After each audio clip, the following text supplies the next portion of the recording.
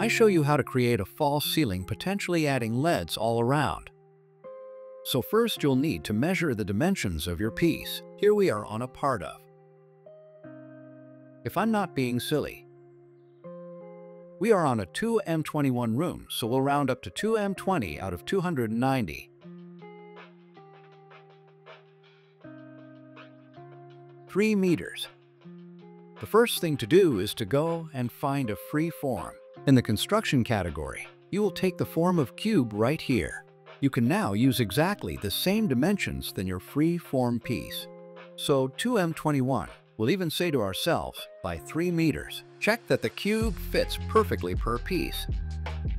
And we're good. Once that's done, you'll determine to how thick you would like your false ceiling. False ceilings are generally just under 10 centimeters high thickness, so we'll set the height of our cube to 10 centimeters. Once you've changed all these parameters, you can easily switch to in 3D. You can see that the cube is right here, and you can move it up slightly. To visualize it, you can switch back to 2D, and the idea will be to reduce the width and the depth of your cube. By reducing the width and depth of your cube, it will, will give you an outline of your empty cube.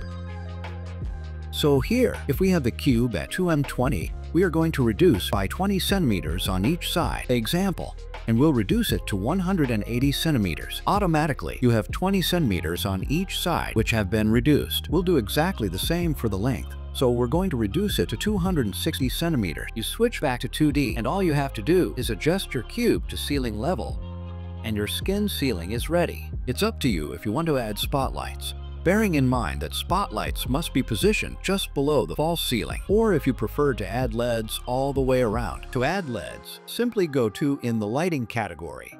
You get LEDs and put them in the same dimensions you've applied to your cube.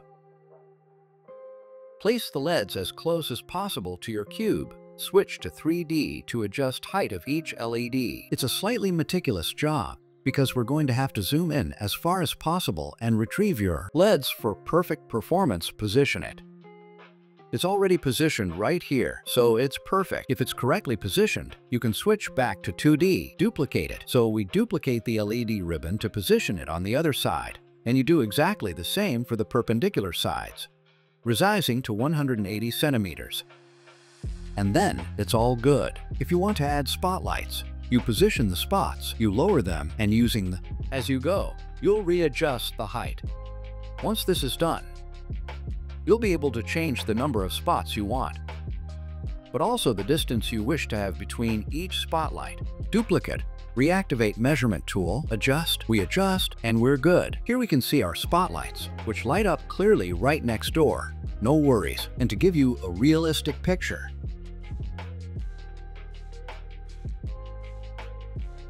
And here it is.